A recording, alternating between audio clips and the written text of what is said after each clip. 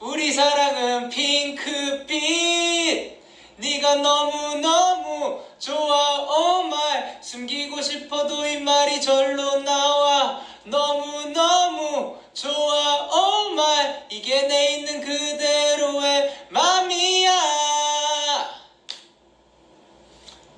이 곡은 조금 조금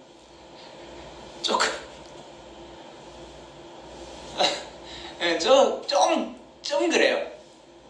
그러니까 만약에 과거에 저한테 돌아간다면 그래 딴 거 다 써도 돼 괜찮아 그 시도고 다 경험이고 한데 우리 사랑은 핑크빛 그건 하지 말자 라고 알려줄 것 같아요 영현아 그 그러니까 핑크빛이란 가사도 조금 그런데 꼭 핑크빛으로 그걸 끌어야겠니? 라고 한번 그것만큼은 조금 그래